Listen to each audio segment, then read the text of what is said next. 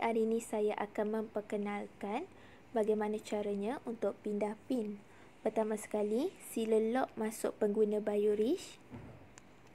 Masukkan ID pengguna. Masukkan kata laluan anda. Klik log masuk. Setelah itu, sila klik kepada D-Wallet. Klik kepada D-Wallet PIN D.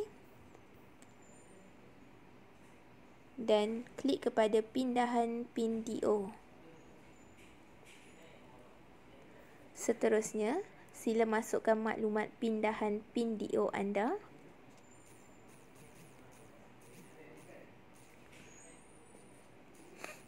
Dan klik Sema ID.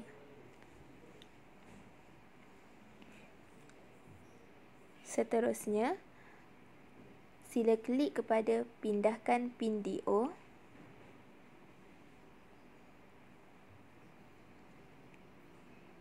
Selesai.